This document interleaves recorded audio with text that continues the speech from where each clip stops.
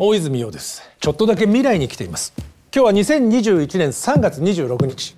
私の主演映画騙し絵の牙の公開初日です。映画が完成したのが2020年の3月27日。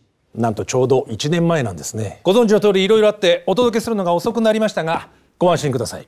一年熟成でちょうど今が食べ頃です。私はここ3月26日で皆さんをずっとお待ちしております。あ紅白どうしよう。